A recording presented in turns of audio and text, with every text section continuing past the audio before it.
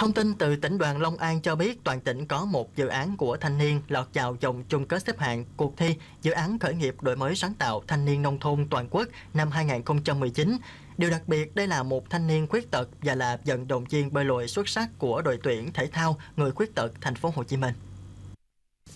Đây là sản phẩm dầu gội Yopu có nguồn gốc tự nhiên được làm từ những nguyên liệu chính là trái bồ kết, cỏ mận trầu, gần xã giỏ bưởi, hương nhu, cam thảo thuộc dự án Hafabo trẻ quá từ thiên nhiên của chị Quỳnh Thị Kim Quang, xã Long Trạch, huyện Cần Đước. Dự án này đã đạt giải nhất trong số hơn 60 dự án của cuộc thi Ý tưởng khởi nghiệp sáng tạo tỉnh Long An lần thứ nhất năm 2018 do Ban Thường vụ tỉnh đoàn phối hợp Hội Doanh nhân trẻ tỉnh tổ chức và là một trong bốn dự án của Long An lọt vào vòng chung kết cuộc thi dự án khởi nghiệp đổi mới sáng tạo thanh niên nông thôn toàn quốc.